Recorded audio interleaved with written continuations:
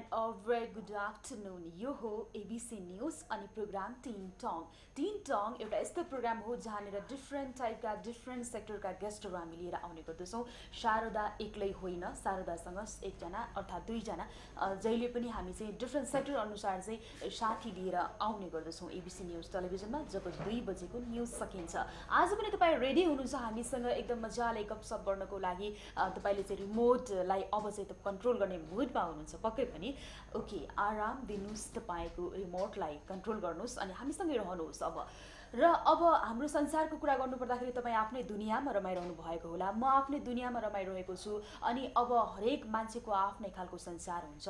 एउटा त्यस्तो संसार पनि छ जुन संसार चाहिँ सधैँभरि रातमा जिउने। तर रातको संसारमै जिएर पनि आफूलाई एकदमै आत्मस्वाभिमानी आत्मस्वावलम्बी बनेर जिउने एउटा संसार पनि रहेको छ र त्यस्ता खालका व्यक्तिहरू हामीले हेरेर आउँछौँ देखिर आउँछौँ तर आज हामीले आ टिन टङको लागि लिएर आएका छौँ। त्यस्ता व्यक्तित्व जसले चाहिँ आफ्नो दृष्टि जन्मजात रूपमा गुमाएर पनि यति बेला चाहिँ आफ्नो लागि आफै गर्ने देश विदेश जाने त्यसै गरी चाहिँ विभिन्न ठाउँमा पार्टिसिपेट हुने अरूभन्दा अलिकति अब्बल भइदिने कसरी हुन्छ त यो? जसको बारेमा आज हामी गफसप गर्नेछौँ प्रोग्राम टिन टङमा जसको लागि हामीसँग हुनुहुन्छ ब्लाइन्ड दृष्टिविहीन सरिता लामिछाने जो प्रयत्न नेपालका फाउन्डर प्रेसिडेन्ट पनि हुनुहुन्छ। उहाँसँग हामी आज एकदमै प्राउडली कुराकानी गर्दैछौँ टिन टङमा। सरिताजी यहाँलाई स्वागत छ प्रोग्राम टिन टङमा धन्यवाद र एबिसी नेपाल एबिसी टेलिभिजन हेरेर बस्नुभएका समा समादरणीय दर्शकवृन्दमा मेरो नमस्कार। सरिताजीको दिनचर्या कसरी बित्दैछ मेरो? दिनचर्या अब बिहानैदेखि कुरा गर्दा म बिहान उठ्छु उठेपछि म पहिला आफ्नो नित्य कर्म गर्छु त्यसपछि अब म आफ्ना इमेलहरू जुन के आएको छ इमेल चेक गर्छु बिहान फर्स्ट अफ अल। त्यसपछि मेरो सोसियल मिडिया फेसबुकहरू चेक गर्ने गर्छु। त्यसपछि म अफिसियल कामको लागि अनि त्यसपछि बाहिर घरबाट निस्किनको लागि कहिले अफिसको कहिले के काम पर्छ के काम पर्छ अफिसमा आउँछु कहिले फिल्डतिर काम हुन्छ त्यस्तै गरेर बितिरहेछ। साह्रै ब्युटिफुल है तपाईँ। तपाईँको हेर्ने। आँखा हाम- हाम्रो सोच राम्रो भएपछि सबै कुरा राम्रो देखिन्छ। तपाईँमा सकारात्मक सोच छ त्यही भएर तपाईँले मलाई पनि राम्रै देख्नुभयो। प्रोग्रामको नाम टिन टङ हो होइन? यहाँले सुन्नु भएको थियो कि थिएन तर आज लाइभ हाम्रो प्रोग्राममा आउनु भएको छ टिनहरूको चाहिँ जुन एउटा चासोको टपिक्स हुन्छ त्यसमा हामी कुराकानी गर्ने गर्छौँ जो कोही पनि आउनुहुन्छ यो प्रोग्राममा। आज सरिताजी आउनु भएको छ हामी पनि एकदमै ह्याप्पी होइन? तर तपाईँ आफ्नो बसाइ कालो पुल भन्नुभएको थियो होइन तपाईँ मेरो बसाइ वनस्थली वनस्थली रानीवन अहिले आउँदाखेरि कालो पुल। कालो पुलदेखिबाट एबिसी टेलिभिजनसम्म आइपुग्नलाई तपाईँले कसको सहारा लिनु पऱ्यो कि परेन? यस्तो पऱ्यो म मैले हजुरसँगैको कुरा हुँदा लोकेसन मागेँ। त्यसपछि अनि म आफै हिँड्दै आउँछु कि भन्ने सोचेको थिएँ। तर कृष्ण पाउरोटीतिर चाहिँ अलिक कन्स्ट्रक्सनको कामहरू पनि कहिले त्यो बाटोहरू कहिले के भइरहेछ फेरि पेट्रोलकोले गर्दा अलि लामो लाइन भइरहेछ नि त हिजो बाटोबाट पेट्रोल भएको हुनाले। अनि मैले चाहिँ ट्याक्सीलाई लिएर आउने सोच बनाएँ र ट्याक्सी ड्राइभरलाई चाहिँ इनफ्याक्ट एज एबिसी टेलिभिजन थाहा रहेछ। तर म के कन्फिडेन्ट थिएँ नि म कृष्ण पाउरोटी चोकमा आउँछु। त्यहाँबाट त्यहाँ तिनवटा बाटो छ। तिनवटा बाटोमध्ये म जय नेपाल जानेतिर पनि लाग्दिनँ पुतल सडकतिर पनि नलागिकन त्यहाँभित्र ठ्याक्क त्यो एबिसी टेलि मार्को पोलो भन्ने ऊ गरेपछि म त्यहाँ सोध्दै गएँ नि मैले जसरी पनि भेटाउँछु एबिसी टेलिभिजन भनेर मलाई कन्फिडेन्ट चाहिँ थियो। ओके एबिसी टेलिभिजनको राइट लोकेसन पनि हाम्रो सरिताजीले चाहिँ बुझाइदिइराख्नु भएको छ होइन? यदि तपाईँ पनि एबिसीमा कहिले काहीँ काम पनि आउनु पऱ्यो भने हाम्रो सरिताजीको चाहिँ एकदम हुन्छ नि एकदमै क्लियरली उहाँले चाहिँ यो वे देखाइदिनु रहनु भएको छ। हामी टिनटङमा कुराकानी गरिरहेका छौँ होइन?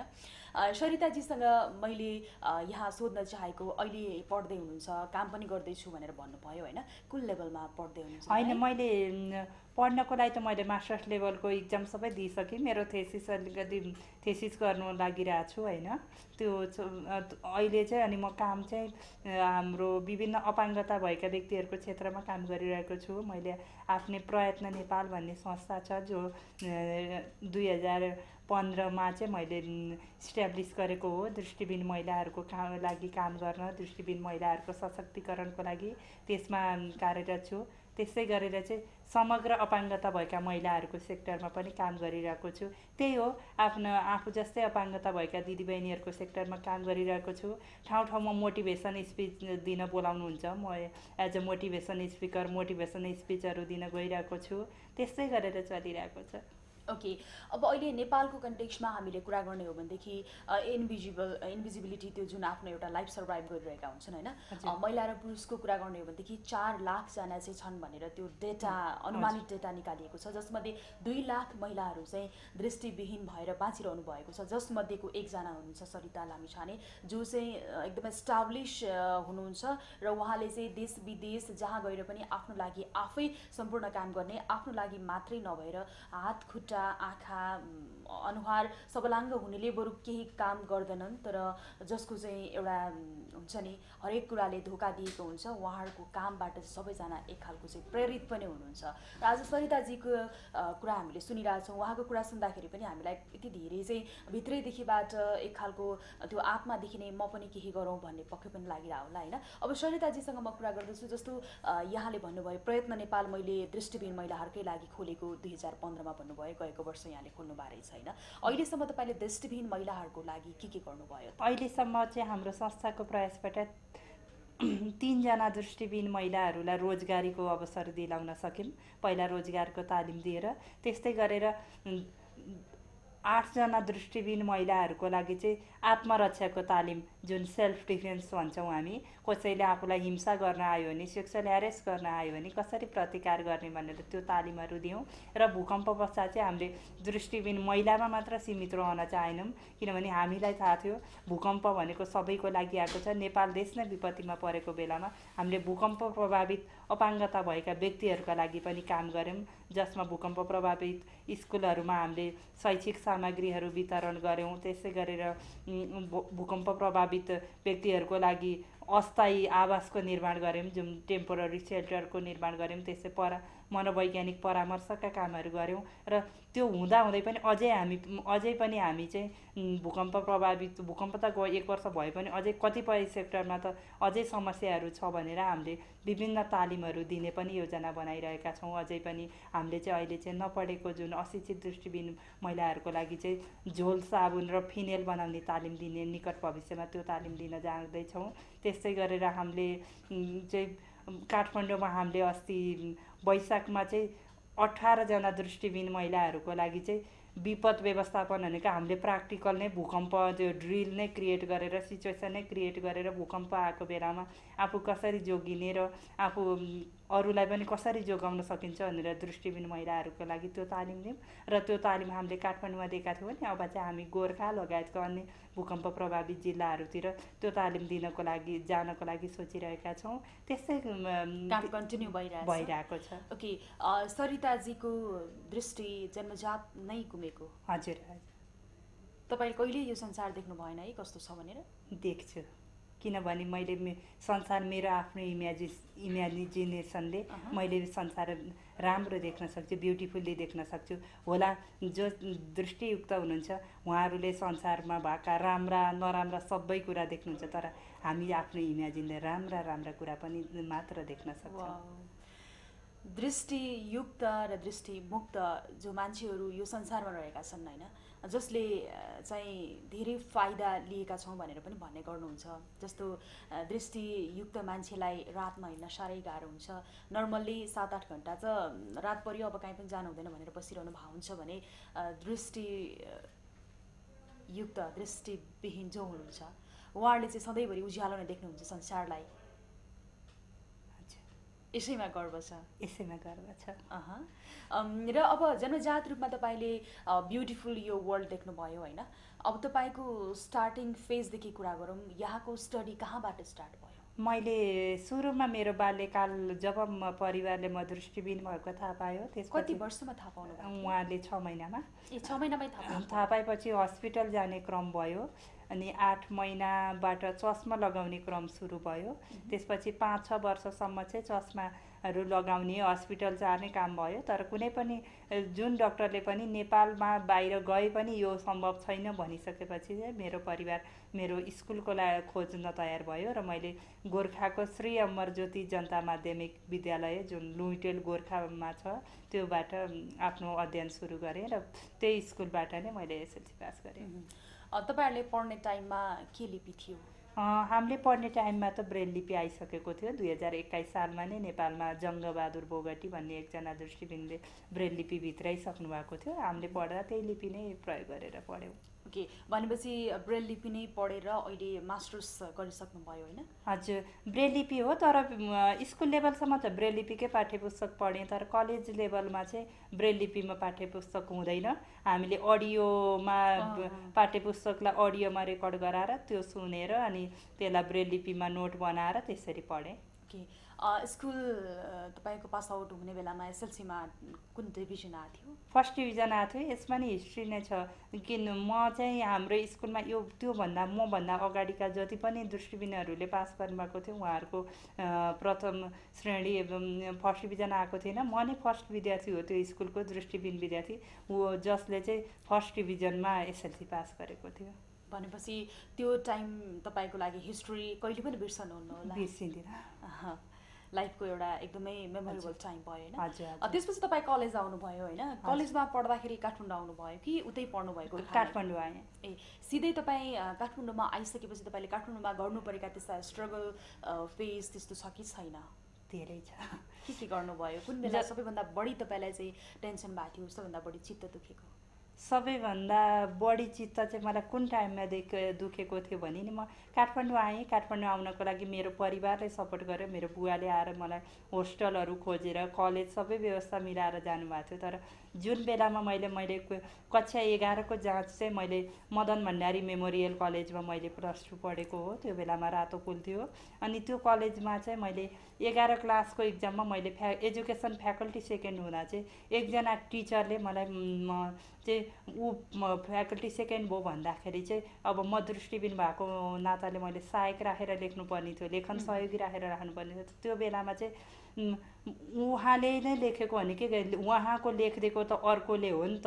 त्यही भएर उहाँ फ्याकल्टी सेकेन्ड हुनुभयो भन्ने पाराले मलाई जुन ट्रिट गरियो तर जब कि म आफ्नो मेहनतले भएको थिएँ हो मैले आफ्नै अब उसले ब्रेल लिपि भएको भए म आफैले लेखेर दिन सक्ने ब्रेल लिपिमा इक्जाम दिने व्यवस्था भएको भए।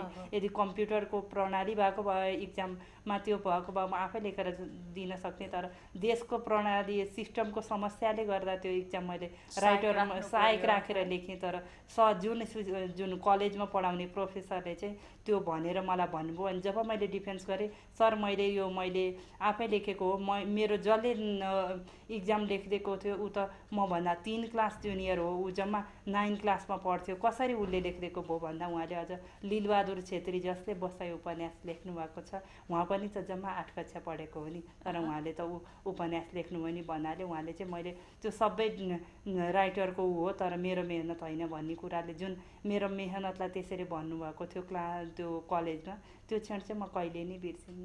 त्यसपछि तपाईँले कन्टिन्यू पढ्दै जानुभयो। ओके सब्जेक्ट चाहिँ कुन थियो? सब्जेक्ट नेपाली थियो ब्या इन्टरमा अनि ब्याचलरमा नि नेपाली गरेँ तर ब्याचलर चाहिँ मैले डबल गरेँ। ए आर्ट्सबाट मैले सोसियोलोजी र आरडीमा रुरल डेभलपमेन्टमा पनि गरेँ फेरि पछि अनि नेपाली चाहिँ मास्टर मास्टर्स चाहिँ नेपालीमै गरेँ। तपाईँले जुन लाइफ अहिले बिताइरहनु भएको छ एकदम ह्याप्पिली होइन सबैजनाले चाहिँ तपाईँसँग कुरा गर्न आउँदाखेरि चाहिँ तपाईँप्रति तपाईँप्रति सिम्प्याथी राखेर कुरा गर्न आउँदाखेरि तपाईँलाई कस्तो फिल हुन्छ? प्रायःले चाहिँ बिचरा भन्दाखेरि चाहिँ हेर मलाई यस्तो भनेको लाग्छ कि एकदम होइन मलाई बिचरा भन्नै पर्दैन म आफैमा चाहिँ इन्डिपेन्डेन्ट केटी हो भन्ने लाग्छ। मलाई यस्तो लाग्छ बिचरा पनि कुन हिसाबले भनेको छ। भन्ने कुरा आउँछ। कतिपय मान्छेहरू हुनुहुन्छ जसलाई थाहा छैन भन्नाले इन द सेन्स बिचरा भन्नु हुँदैन अथवा भन्यो जो शिक्षाबाट वञ्चित हुनुभएको छ उहाँहरूले बिचरा भन्दा मलाई लाग केही पनि लाग्दैन किनभने उहाँहरूको निष्कलङ्क मनबाट निस्केको। कुरो हो उहाँले त्यो मेरो चित्त दुखाम भनेर त्यो गरेर भन्नुभएको होइन उहाँ तर जो व्यक्ति जो शिक्षित हुनुहुन्छ तर उहाँ पनि बिचरा भन्नुहुन्छ नि उहाँहरूले बिचरा भन्दा चाहिँ मलाई कहिलेकाहीँ रि चित्त दुख्नुभन्दा पनि मलाई रिस उठ्छ म बिचरा नै हो त। है। अब जुन पढाइको कुरा गऱ्यौँ हामीले अब एक्टिभिटिजहरूको कुरा गऱ्यौँ तपाईँको आफ्नै एउटा चाहिँ संस्था छ होइन? त्यो संस्था मार्फत तपाईँले चाहिँ धेरै हेल्प पनि गरिराख्नु भएको छ। त्यो संस्था इस्टाब्लिस गर्नको लागि चाहिँ तपाईँलाई सपोर्ट गर्नेहरू चाहिँ को को हुनुहुन्छ त? संस्था इस्ट्याब्लिस गर्नको लागि म सम्झिन्छु नाम लुना श्रेष्ठ ठाकुर जस जो चेन्ज फ्युजन नेपाल भन्ने संस्था छ जो जसले चाहिँ मलाई तिमीले चाहिँ युनिक रूपमा केही गर्नुपर्छ र तिम्रो कम्युनिटीको लागि नै गर्नुपर्छ।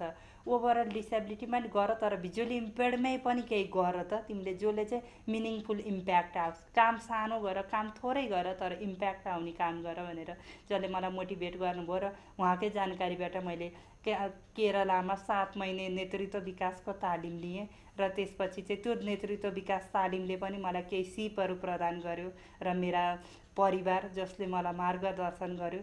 सबै हुनुहुन्छ किनभने अहिले मैले यहाँ नाम लिएर यो ऊ भन्दाखेरि धेरै? छुट्याउन सकुँला। जो जतिले आफ्नो हिसाबबाट सपोर्ट गर्नुभएको छ उहाँहरूप्रति म सदा आभार छु। यहाँको अब अहिले चाहिँ सबैतिर चाहिँ सरिताजी भनेर चाहिँ सबैले सम्मान गर्नुहुन्छ सपोर्ट गर्नुहुन्छ होइन?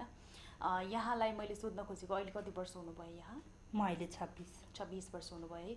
छब्बिस वर्षको उमेरमा यो फिल्डमा आएर पनि यसरी सर्भिस गरिरहनु भएको कमै मान्छे पाउँछौँ जो सबलाङ्ग हुनुहुन्थ्यो। यो भन्दैमा सबलाङ्गले गर्नै नसक्ने र सबलाङ्गले चाहिँ भनौँ न अलिकति मनैदेखि नगरेको भन्ने कुराहरू त धेरै छँदैछ होइन? तर कस्तो हुँदो रहेछ भन्दाखेरि अधिकांश मान्छेहरू हामी देख्छौँ सबै कुराले पर्फेक्ट छ भने चाहिँ उसलाई केही गर्न मन नलाग्ने रहेछ।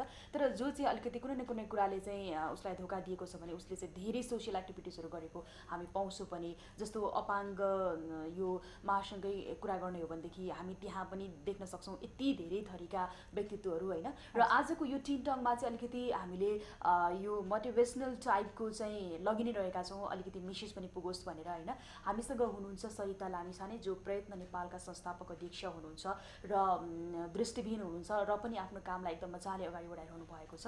र संसारलाई चाहिँ एकदमै नजिकबाट उहाँहरूले निहालिरहनु भएको छ। जति बरु हामीले निहालिरहेको छैनौँ होला। र फेरि म उहाँसँगै कुरा गर्नुतर्फ जाँदैछु। जस्तो अघि यहाँले भन्नुभयो छब्बिस वर्षको यङ लेडी हुनुहुन्छ एकदम ब्युटिफुल होइन। तपाईँ डिफ्रेन्ट टाइममा डिफ्रेन्ट प्लेसरमा पुग्नुहुन्छ सर्भिसको लागि फिल्डमा जानुहुन्छ। त्यहाँ जाँदाखेरि चाहिँ तपाईँलाई अलिकति हुन्छ नि त्यो एउटा प्रेमको भावले त्यस्ता व्यक्त गर्ने व्यक्तित्वहरू चाहिँ कतिको भेट्नुहुन्छ? भन्नाले प्रेम तपाईँलाई जिस्काउने अनि तपाईँलाई माया गर्छु म I love you Sarita Lamichhane भन्नेहरू कतिको भेट्नुहुन्छ आउँदै आएनन् भन्न पनि सकिँदैन तर एक दुईजना आयो तर डाइरेक्टली भन्ने त्यस्तो उ त गरेन। तर इन्डाइरेक्टली एक दुईजनाबाट त आयो आइ नै हाल्छ नि। त्यो नेचुरल प्रक्रिया पनि हो। है। तपाईँले बिहान उठेदेखि म इमेल फेसबुक सबै चेक गर्छु भन्नुभयो होइन? हजुर। कसरी तपाईँले सबै तपाईँलाई कसले मेसेज छोडेको छ? कसले के लाइक कमेन्ट के गरिरहेको छ? सबै थाहा हुन्छ। थाहा हुन्छ।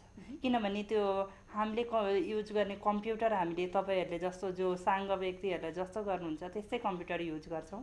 तर त्यहाँ एउटा सफ्टवेयर हुन्छ स्क्रिन रिडर सफ्टवेयर जुन स्क्रिनमा देखेको हुन्छ ल्यापटपमा त्यो कुरा चाहिँ बोलिदिन्छ। त्यसलाई चाहिँ जज भन्छौँ हामी। जज र एनबिडी अहिले त दुईवटा सफ्टवेयर आएको छ। त्यसको सहायताले चाहिँ हामीले सबै कुरा थाहाहरू पाउँछौँ। इभन कसले फेसबुकमा कसले के स्ट्याटस राख्यो कतिजना लाइक पुग्यो कसले के के कमेन्ट गर्यो अनि त्यसपछि मे म्यासेज कति आएको छ नोटिफिकेसन कति आएको छ अहिले च्याटमा अनलाइन कति हुनुहुन्छ इभन इमेलहरू चेक गर्दा मलाई म्या अनि कसरी इमेलहरू को कसको इमेल आयो त्यो सबै थाहा हुन्छ। ओके। अ, तपाईँले हातले त्यो चाहिँ त्यहाँनिर त छुनु पऱ्यो नि त होइन? कम्प्युटर यस्तो हामीले माउस युज गर्दै गर्दै गर्दैनौँ भन्दा पनि गर्नै पर्दैन। सबै किबोर्डमा सर्टकटमा हुन्छ सबैहरू टाइप गर्ने। त्यो भएपछि त हातले। इजी भयो भन्छ। ओके। अब तपाईँले अघि कुरा गर्नुभएको थियो सेक्सुअल ह्यारेसमेन्ट हुनेहरूलाई पनि हामी चाहिँ सर्भिस दिन्छौँ भनेर होइन? उनीहरूलाई चाहिँ सेफ राख्छौँ भनेर। अब सेक्सुअल ह्यारेसमेन्टकै कुरा गर्नुपर्दाखेरि दृष्टिविहीन अपाङ्ग अ, हरू जति हुनुहुन्छ नि उहाँहरूको केसमा यति धेरै भइरहेको छ कि? त्यो। कतिपय बाहिर आउँछ कतिपय आउँदैन। यहाँको एक्सपिरियन्सले के भन्छ? यहाँको एक्सपेरिमेन्टले के भन्छ? हो किनभने जस्तै के हुन्छ भने म अपाङ्गता वाइजै जान्छु। डेफहरूको लागि के हुन्छ भने ऊ सुन्दैन उसले नसुने बहिराहरूको लागि उसले सुन्दैन भनेर उसलाई अगाडि आएर औँलाहरू नचाउने मुखहरू यस्तो बनाएर। देखाउने त्यस्तो गरेर बहिरा महिलाहरूमाथि भइरहेको हुन्छ त्यसै गरेर शारीरिक अपाङ्गता भएको महिलाहरूलाई पनि आमै के अरे विभिन्न प्रकारले छुन खोज्ने त्यस्तोहरू भइरहेका हुन्छ। हुन त उहाँहरूले देख्नुहुन्छ तर यो को यो दकुर्न सक्दैन भनेर जस्तै रेप एटेम रेपको प्रयासहरू त्यस्तोहरू पनि भइरहेको हुन्छ अनि दृष्टिविहीन महिलाहरूकोमा कुरा गर्दा चाहिँ जब बाटो कटाइदिने न्युमा। सुरुमा मान्छे हात समाउँछ यसरी तर त्यसपछि यो हात यसरी यसरी माथि सार्दै लान्छ त्यो भनेको सेक्सुअल हेरेसमेन्ट गर्ने नियत हो। त्यसै गरेर पब्लिक जुन सार्वजनिक साधनहरूमा सार्वजनिक यो यातायातका साधनहरूमा चाहिँ त्यहाँ पनि अब बस्दाखेरि अलिकति छुन खोज्ने त्यस्तोहरू पनि पाइन्छ त्यो साङ्ग महिलाहरू पनि भोगिरहनु भएकै। हुन्छ अभियसली अपाङ्ग सपाङ्ग भन्ने हुँदैन तर अपाङ्गलाई अलिकति अझ अझ बढी? छ किनभने अब हामीले चाहिँ सहयोग गरिदिने बाहना अनि त्यो बाहना बनिएपछि त्यो बाहनाले चाहिँ अनि त्यसपछि हातसम्मको जस्तो गरेर त्यही मौकामा हो छुने भन्ने जस्तो हिसाबले त्यसरी ट्रिट चाहिँ हुन्छ। अनि अब बाटोहरू देखाइदिँदाखेरि समाउनै पर्दा नि यस्तोमा आएर डाइरेक्ट यस्तोमा समाइदिने होइन? त्यस्तोहरू त हुन्छ। धेरै नै गर्न। खोज्छन् हजुर ओके अब त्योलाई रोक्नको लागि त यहाँले आफ्नो संस्था नै इस्टाब्लिस गर्नु भएको छ होइन नेपालमा यो दृष्टिविहीन त्यसै गरी अपाङ्गहरूको लागि चाहिँ एउटा छुट्टै अपाङ्ग मैत्री कानुन भनेर भनिन्छ। अपाङ्ग मैत्री चाहिँ नीति नियम बन्नुपर्छ भनेर भनिन्छ होइन? त्यो नीति नियमप्रति चाहिँ यहाँको कुनै त्यस्तो सजेसन भनौँ न यो भएको छैन हुनुपर्छ भन्ने छ त्यस्तो? यस्तो छ। नेपाल सरकारले दुई हजार नौ सालमा चाहिँ अपाङ्गता भएका व्यक्तिहरूको अधिकार सम्बन्धी महासन्धि जसलाई हामी सिआरपिडी भन्छौँ convention on the rights of person with disability भन्छौँ इङ्ग्लिसमा। त्यो अनुमोदन गरिसकेको छ तर त्यसले धेरै व्यवस्था गरेको छ त्यसमा धेरै कुराहरू अपाङ्गता भएका व्यक्तिहरूको हितको लागि बोलेको छ। तर त्यसको यथा त्यसको यथोचित कार्यान्वयन गर्यो भने नेपालले धेरै फड्को मार्न सक्छ। त्यस्तै गरेर दुई हजार उन्चालिस सालमा अपाङ्ग संरक्षण तथा कल्याण ऐन भनेर बनेको थियो। त्यस त्यो पै त्यो ऐनलाई अहिले कल्याणकारी अवधारणामा भयो। दया मायामा मात्रै गयो भनेर अहिले यो अधिकारमुखी अवधारणाबाट पुनर्लेखन भएर अहिले क्याबिनेटमा गएर थन्किएर बसेको छ। त्यो पास भयो भने पनि त्यो पास भएर त्यो कार्यान्वयनमा गयो भने पनि अपाङ्गता भएका व्यक्तिहरूले अपाङ्गता भएको समूहले चाहिँ ठुलो लाभ हासिल गर्न सक्थ्यो। ओके। अब त्यो अपाङ्ग मैत्री जुन चाहिँ नीति नियम बन्नुपर्ने होइन संविधानमै लिखित भएर आउनुपर्ने त्यो त आफ्नो ठाउँमा सधैँ नै छ। अब तपाईँको पर्सनल कुरातर्फ म जाँदैछु। यहाँ तपाईँ अहिले कोसँग बस्नुहुन्छ? यहाँ म मेरो दुईवटा बहिनीहरू र म बस्छौँ। दुईवटा बहिनीहरू सबलाङ्ग हजुर। अनि कहिलेकाहीँ घरमै चाहिँ तपाईँलाई हुन्छ नि है मेरो दिदी त यस्तो टाइप भनेर कहिलेकाहीँ चाहिँ तपाईँलाई घरबाट फ्यामिलीबाट त्यस्तो कुनै बिहेभ हुन्छ कि हुँदैन मिस त्यस्तो छैन। अब त्यो सानो पारिवारिक रूपमा दिदीबहिनी भएको नाताले अरूको जस्तो डिस्कस हुन्छ सामान्य घराइसी कुरामा त्यो डिस्कसनको जसको पनि हुन्छ डे। दैनिक जीवनयापनको कुरा गर्दा। तर अपाङ्गतालाई नै क्लेम गरेर मेरो डिसेबिलिटीलाई नै क्लेम गरेर त्यस्तो भन्नेहरू छैन। इङ्ग्लिस पनि एकदम राम्रो बोल्नु हुँदो रहेछ है तपाईँ? होइन तपाईँलाई राम्रो लाग्यो? होइन मैले हेरेको थिएँ तपाईँको स्पिच त्यही भएर। हजुर। ओके। अनि तपाईँले ड्रेस चुज गर्दाखेरि चाहिँ कसरी चुज गर्नुहुन्छ? कस्तो स्टाइल तपाईँलाई एकदम मनपर्छ? फ्यासन बजारमा के आछ? त्यसलाई फलो गर्नुहुन्छ कि अरूले भनिदिन्छ अरूले डिजाइन दिन्छ? यस्तो छ। म आफ्नो अलिकति सजेसन त लिन्छु। मैले ट्रस्ट गर्नेहरूसँग जस्तो मेरो बहिनीहरूसँग। किनभने फ्यासन आफैलाई लिनु मन लाग्छ। किनभने बिच के त्यो भयो भने हामी चाहिँ किन फरक छैन आएकै फ्यासनकै लुगा लाउन होइन त्यो। भन्ने सोच आउँछ त्यसरी चाहिँ युज गरिन्छ तर अलिकति म्याचिङ हुने नहुने आफूलाई कुन लुगाले अलिकति राम्रो देखाउँछ भन्ने कुराहरू त्यस्तो त अलिअलि सोध्न पनि सोधिन्छ र कतिपय आफूलाई पनि फिल हुन्छ यो लुगा चाहिँ मलाई सुहाउँछ है सबभन्दा। बढी के लगाउनुहुन्छ kurta salwar sari T shirt pant? प्राय pant T shirt pant T shirt लाउँछु अनि टप्स लेगिज लाउँछु अनि कुर्ता सुरुवाल साडीहरू ओकेजनल्ली लाउँछु। जस्तै कुनै फर्मल प्रोग्रामहरूमा अनि कुनै पार्टीहरू त्यस्तो छ भने साडीहरू पनि लगाउँछु कुर्ता सुरुवाल। तपाईँले लगाउने गक्स कसले चुज गर्नुहुन्छ आफै? मैले लगाउने गक्स सम कहिले बहिनीहरूले कहिले आफै त्यस्तै हुन्छ। अनि भनेपछि एकदम फ्यासन गर्न मन लाग्छ। अत्याधिक फ्यासन यसै पनि लेडी भनेपछि चमक। धमक निकाल्न मन लागिहाल्छ होइन तै पनि हुन्छ नि मन लाग्छ चलेको ट्रेन अनुसारको चल्नलाई किनभने किन एक्स्ट्रा भएर हिँड्नु किनभने। त्यही त्यही पनि हामीले गएको फेसनको त्यस्तो लगायो भने हामीलाई हेर्ने नजरै फरक हुन्छ नि त सोसाइटीले तर हामी पनि we are the blind but so what होइन? अनि त्यो त्यही भएर हामीले विभिन्न आफूले जे छ त्यो आएको फेसन अनुसारको अरू सरै समायोजन हुन सक्यौँ नि त सोसाइटीमा। त्यही भएर लगाउन पनि मनपर्छ। त्यो त राम्रो कुरा त सबैलाई राम्रै त राम्रो लाग्छ है। तपाईँले जुन कुरा गर्नुभएको थियो सोसियल नेटवर्कको होइन तपाईँसँग फेसबुक आइडी छ ट्विटर छ कि छैन? ट्विटर नै छ। त त्यति युज गराएको छैन। किनभने यो ट्विटर अलिकति दृष्टिबिन फ्रेन्डली छ होइन। अब त्यो हुन त म आफैले सिक्नु पनि पर्ने छ। नेपालमा त्यति धेरै हामीले युज गरेका छैनौँ तर विश्वका अरूमा चाहिँ युज गर्नुभएको छ। तर त्यति धेरै भिजुअली इम्पेयर्डहरूको ट्विटरमा चाहिँ त्यति एक्सेस भएको थाहा छैन मलाई। टेलिभिजन हेर्नुहुन्छ? टेलिभिजन हेर्छु। रेडियो सुन्नुहुन्छ एफएम सुन्छु सुन्छु। टेलिभिजन हेर्दाखेरि कस्तो फिल हुन्छ? यस्तो हेर्दा पनि अब पिक्चर हुन त म अहिले दर्शकहरू हेर्छु त भने तर उसले त देख्दिनँ भन्ने सोच्नु भएको होला होइन? हजुर त्यो सोच्नु भयो होला तर त्यो हेर्दा पनि जस्तो टिभी हेरेको फिलिङ्स र रेडियो सुनेको फिलिङ्स छुट्टै नै आउँछ हामीलाई पनि। हुन त अब सुन्नु त सुन्ने नै हो तर टिभी हेर्दाखेरि अलिकति त्यो अगाडि नै बसेर त्यही फेसै गरेर जस्तै रेडियो सुन्दाखेरि हामी कहिल्यै पनि। रेडियोको हाम्रो ब्याक साइडमा भए पनि हामी इग्नोर गरेर त्यसरी रेडियो सुन्छौँ तर हामी दृष्टिबिनै भए पनि टेलिभिजन हेर्दा हामी यसरी नै फ्रन्ट नै टिभीलाई नै फेस गरेर हेर्ने गर्छौँ त्यसो खासै फरक त लाग्दैन रेडियो र टे उसमा तर रे टेलिभिजनमा हुँदा चाहिँ अझ एक्सप्लेन गराइदिनु कुनै कुरा अलिकति अझ बढी क्युरियोसिटी भने के हो भनेर साइडमा सोध्न पाइन्छ नि त बहिनीहरूलाई पनि सोध्न पाइन्छ। कतिपय कुरा त्यही पनि सोध्नै ऊ त हुँदैन जस्तै एक्सप्लेन नि भइरहेको हुन्छ नि त सँगै। सबैभन्दा बढी के हेर्नुहुन्छ टेलिभिजनमा न्युज कुनै प्रोग्राम न्युज- पर्टिकुलर पिक्स त्यस्तो के यस्तो न्युज हेर्छु म अनि त्यसपछि आएर विभिन्न अब प्राय म न्युजमा अपडेट बसिरहेको हुन्छु अनि प्रोग्रामहरू हुन्छ जस्तै साझा सवालहरू हुन्छ। त्यस्तै गरेर चाहिँ म अन्य विभिन्न प्रोग्रामहरू जस्तै मलाई चाहिँ स्टो जुन इन्टरभ्यू भएका प्रोग्रामहरू मनपर्छ होइन त्यो खालका प्रोग्रामहरू हेर्छु। त्यसै गरेर कुनै बेलामा गीतहरू सुन्नको लागि पनि टेलिभिजन उ गीत गरिरहेको मनपर्छ यहाँलाई? नेपाली हिन्दी इङ्ग्लिस? मलाई नेपाली गीतहरू नै मनपर्छ तर हिन्दीहरू पनि पुरानो गाउनुहुन्छ जस्तो पनि लाग्छ मलाई तपाईँको गाउन खासै गाउँदिनँ म। हजुर। मभन्दा धेरै गाउँ राम्रो गाउने साथीहरू हुनुहुन्छ? हाम्रो। त्यही भएर मैले गाएँ भने उहाँहरूको कलाको अलि अपमान हुन्छ। ओके। तपाईँ सिङ्गल? सिङ्गल। अब बिहे कहिले गर्ने त? आजसम्म सोच बनाएको छैन होइन। ढिलो भएको छैन। पहिला करियर भर्खर बन्दैछ अर्गनाइजेसन इस्ट्याब्लिस गरेको छु।